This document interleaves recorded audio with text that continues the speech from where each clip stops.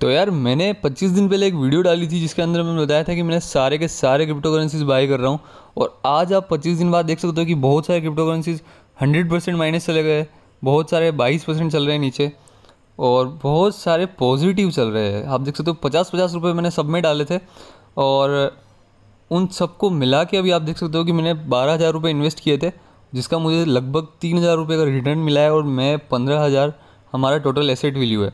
बहुत सारी crypto currency साढ़े चार सौ परसेंट ऊपर है। बहुत सारी ढाई सौ परसेंट दो सौ परसेंट भी ऊपर है।